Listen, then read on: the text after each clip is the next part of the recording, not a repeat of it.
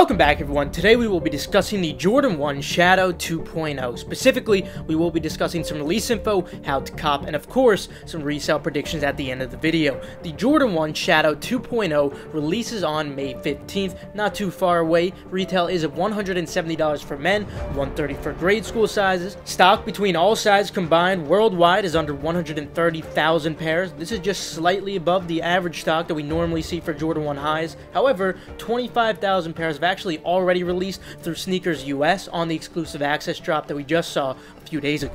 Regarding resale, we will cover that towards the end of the video as always, but with the release info out of the way, let's jump into how to cop these Jordan 1 Shadow 2.0s. Specifically for this how to cop, we'll be going in chronological order, along with exactly how to efficiently manage your time and set up for this drop, since a lot will be going on at once. Prior to discussing the first come first serve online drops though, make sure you follow my Twitter, KeithAdam10 and personals for you for any urgent updates on these, such as the exclusive access that we already saw. Also, for those of you who asked me, my Instagram Instagram is Keith underscore Adam underscore. Feel free to follow me if you want to get to know me outside of reselling, outside of business and programming. This is essentially just my personal page. Also, please make sure that you don't forget to sign up for the Flex app reservation. This is definitely one of your best ways to get pairs, as well as asking your local foot stores about their procedure for leftover pairs if they don't already load the leftovers on the app. But now, moving on to the actual first come first serve online sites, we'll be starting with the US sites in chronological order, then we'll jump into the Europe sites afterwards. This site list is very similar to the last one we did, since it doesn't really change too much when it comes to Jordan 1 highs. At 8 a.m. Eastern Time, we should be seeing undefeated drop as usual, unless they do specifically post about a 10 a.m. Eastern Time drop like they did on the Raging Bull Jordan 5s. So before this time, make sure you are signed into your undefeated account, as it is required for the site to check out. Be ready to solve a checkpoint captcha as well. If you don't have access to a Shopify monitor, you can try refreshing the search page for AJ1 High, but your chances of copying will be slim since it is Shopify at the end of the day. If hypothetically they do drop at 10 a.m. Eastern Time rather than the normal 8 a.m. Eastern Time like the Raging Bulls were, I would not suggest focusing your attention on here as there will be better opportunities, those of which we're about to discuss. So now, moving on to the confirmed 10 a.m. Eastern Time drops, this is where the actual fun begins, as I like to say. Since there's a lot to focus on, I'm going to be guiding you and suggesting to you guys how to efficiently manage your time as per usual. First, I would suggest going for Hibbett at exactly 10 a.m. Eastern Time. You guys know what's up with this, what I've been suggesting recently, and it's been going very, very well for you guys manually. For everyone who was asking about the press and hold loop, though, this is unfortunately the result of the Perimeter X bot protection. In order to avoid the loop, rather than just refreshing the product page, visit the Coming Soon page under Launches and click the product just several seconds before 10 a.m. Eastern Time. By the time it loads the page and you solve the press and hold, sizes should show for you as it should be live. Try to time it to the best of your abilities. You should also try to generate some activity on the website at least 20 minutes before the drop or so. Your goal is essentially just to emulate normal customer human behavior. My biggest advice when going for Hibbett by far is definitely to use Apple Pay on your mobile device for the most efficient checkout. Now, as an alternative to Hibbett, if you prefer not to go for Hibbett for whatever reason, you can choose one or two Shopify sites to focus on at exactly 10 a.m. Eastern Time since those will also be selling out the quickest. If I had to choose two for you guys, I normally tend to suggest Jimmy Jazz and DTLR since they do get pretty high stock. They do have a checkpoint as well. Normally, I would stay away from suggesting Shop Nice Kicks or Shoe Palace because they do charge a whopping $27 shipping. Nobody likes that, but in this specific case, you should still be able to make a little profit regardless of that $27 shipping but it's definitely still going to hurt your margin. If you have tax in your state, you might want to focus on DTLR and Jimmy Jazz, and that's of course if you do choose a Shopify site over Hibbett. Again, I still personally suggest Hibbett over a Shopify site, but it's up to you guys. Also, remember the tip that I did suggest for Shop Nice Kicks and Shoe Palace if you did plan to go for those when making the add to cart links, if you do hypothetically want to. These sites do load the variants beforehand. Just view page source by right clicking and clicking view page source. Control F to find your desired size by typing in variants, searching for that keyword, picking your desired size, copying that variant, and adding it into this format domain slash cart slash variant colon 1. Feel free to watch my Bad Bunny Adidas video for a more in-depth review of this if you do need some help. If you're in a group that does send Kith early links, you could also choose to go for Kith since that will give you an edge as well. Be prepared for a potential H-Captcha question pop-up as well if you do choose to go for Kith as your 10 a.m. Eastern time site. They usually tend to have it. But now, right after those first come first serve drops are over, depending on which one you decided to use, whether it's Hibbett or even while you're still waiting in the Shopify queue, I want you guys to enter in as many sneakers accounts into the drop as until 10 10 a.m. Eastern time. This is going to be your number one chance by far for copying these. But now, what is the most efficient way to cop off of Nike sneakers manually? So these are currently loaded as a Dan drop, unlike what we normally have been seeing, which is a Leo drop. Dan drops are also known as draws. You essentially have 10 minutes to enter in as many of your accounts into the raffle as possible. Evidently, the more you can enter within that period, the better the probability of winning will actually be. I actually made a full in-depth video regarding this, which I'd highly suggest watching because there is much more to it.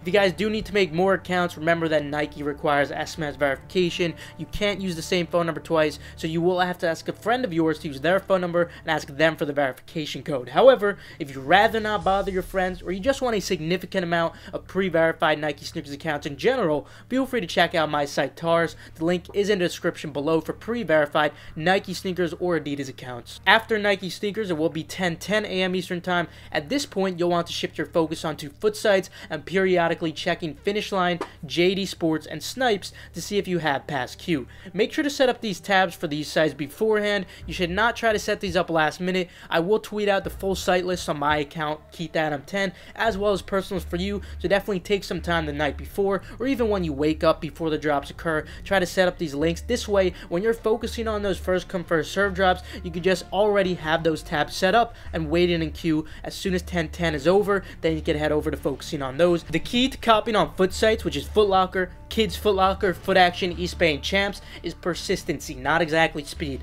However, as of the last half a year or so, like I've been saying, manual has unfortunately changed from very difficult to now nearly impossible since the Data Dome was introduced to foot sites. Regardless, it's still worth trying at this time anyway since there isn't much going on anyway, so might as well give it a shot.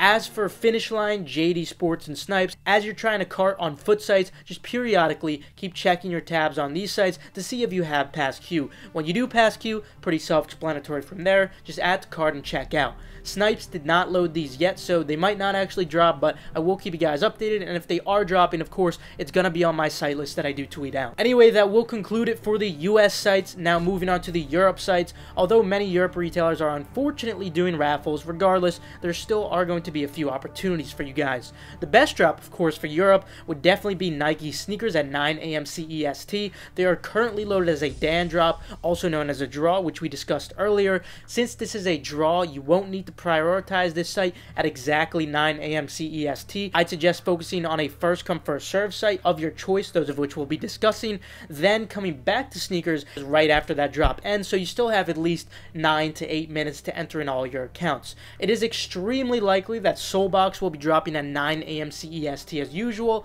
If you have access to a Solebox monitor, you will definitely have a decent chance to copy manually here, and very similar to Hibbett, Solebox also does use Perimeter X protection, so you will tend to get that press and hold loop. I do understand, guys. It's very frustrating to have to deal with that. The best thing I could suggest to you guys to at least partially avoid this or at least reduce it is to generate some activity on the site beforehand, peruse some products, search for some products, just essentially emulate normal human customer behavior. That's all it really takes. I would also suggest making an account beforehand and being signed into that account, of course. Zalando, Courir, and Snipe should also be dropping these, but they have not loaded the products just yet, but they should be loading them before the drop, of course. Then Offspring may also potentially drop too. For Offspring, I would suggest enabling post notifications on their Instagram if you don't have access to a monitor. They're relatively fast at sending it out when it does go live. They normally do not drop at 9 a.m. CEST whenever they do, so do not focus on there at 9 either, as there are other opportunities. Footlocker will also be dropping. Try to use multiple Chrome users to pass Q on here. And then, very similar to the US foot sites like we were discussing earlier,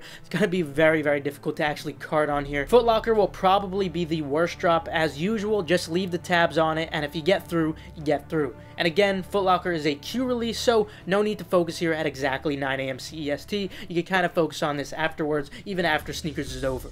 That will be it for the how to cop portion of the video though. Now with the how to cop out of the way, let's move on to some resale predictions.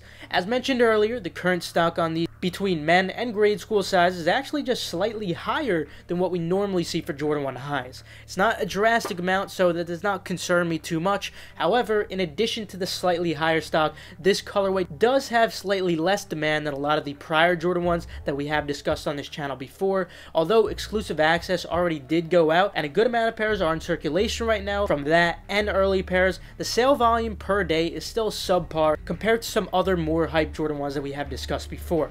Nonetheless, we are still 5 days out from the drop, so it's nothing too concerning at all. However, you will see that the bids illustrate marginally less demand than some such as the Hyper Royal ones or the University Blue ones, and this should really come as no surprise to you guys. Regardless, there is still evidently really solid demand for these, just not the best. The Shadow colorway is a classic one, and this is a pretty interesting spin-off of it. Without a doubt, although the demand is not the best for a Jordan 1, it's still pretty solid and the stock is not too concerning either. Therefore, I expect these to hold up after the drop. They should still be profitable with a good margin in any sizes without tax, and at least a decent margin if you do have tax. The grade school pairs are no exception. They should also perform well. Although this is not the best Jordan 1 in terms of profit that we've seen recently, I am confident that this is still a good one. I'll personally be going full throttle on these during the drop in both grade school and men's sizes. Anyway, that will conclude it for today. Feel free to leave a like if you enjoyed or you perhaps learned a thing or two, subscribe, and enable post notifications just to stay 100% updated on all hyped releases. Also, feel free to check out the links in the description below for reliable, fast residential proxies and pre-verified Nike sneakers or Adidas accounts.